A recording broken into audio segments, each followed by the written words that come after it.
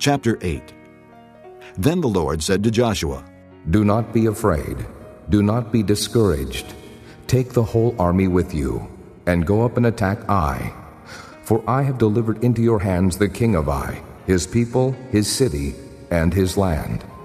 You shall do to Ai and its king as you did to Jericho and its king, except that you may carry off their plunder and livestock for yourselves. Set an ambush behind the city. So Joshua and the whole army moved out to attack Ai. He chose 30,000 of his best fighting men and sent them out at night with these orders Listen carefully. You are to set an ambush behind the city. Don't go very far from it. All of you be on the alert. I and all those with me will advance on the city. And when the men come out against us, as they did before, we will flee from them. They will pursue us until we have lured them away from the city, for they will say, They are running away from us as they did before. So when we flee from them, you are to rise up from ambush and take the city. The Lord your God will give it into your hand. When you have taken the city, set it on fire. Do what the Lord has commanded. See to it. You have my orders. Then Joshua sent them off, and they went to the place of ambush and lay in wait between Bethel and Ai, to the west of Ai. But Joshua spent that night with the people. Early the next morning, Joshua mustered his men, and he and the leaders of Israel marched before them to Ai. The entire force that was with him marched up and approached the city and arrived in front of it. They set up camp north of Ai, with the valley between them and the city. Joshua had taken about 5,000 men and sent them in ambush between Bethel and Ai, to the west of the city. They had the soldiers take up their positions, all those in the camp to the north of the city, and the ambush to the west of it. That night, Joshua went into the valley. When the king of Ai saw this, he and all the men of the city hurried out early in the morning to meet Israel in battle at a certain place overlooking the Arabah. But he did not know that an ambush had been set against him behind the city. Joshua and all Israel let themselves be driven back before them, and they fled toward the desert. All the men of Ai were called to pursue them, and they pursued Joshua and were lured away from the city. Not a man remained in Ai or Bethel who did not go after Israel. They left the city open and went in pursuit of Israel. Then the Lord said to Joshua, Hold out toward Ai the javelin that is in your hand, for into your hand I will deliver the city.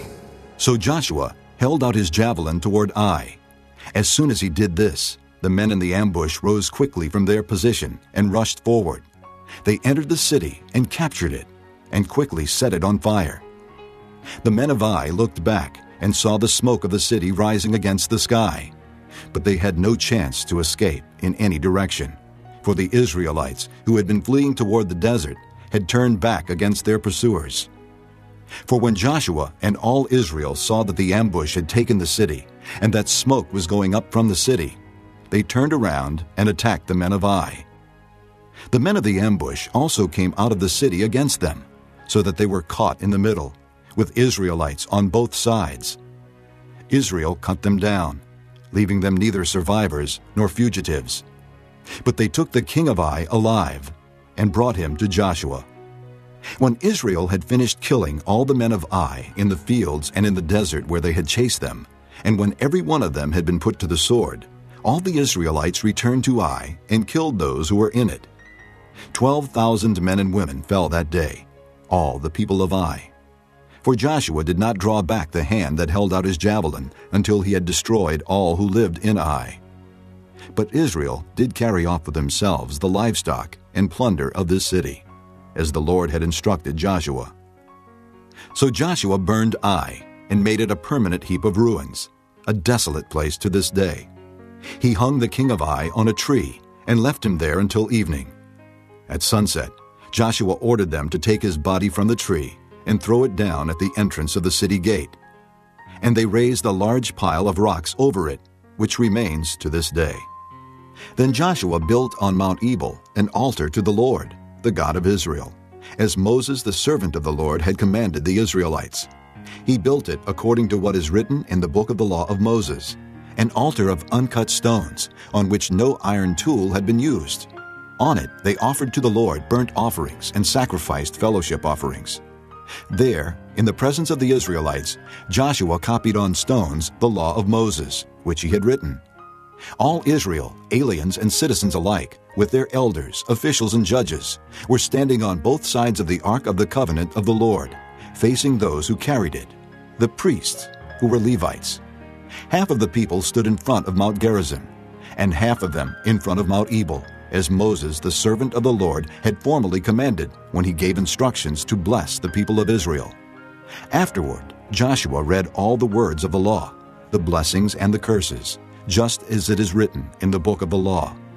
There was not a word of all that Moses had commanded that Joshua did not read to the whole assembly of Israel, including the women and children, and the aliens who lived among them,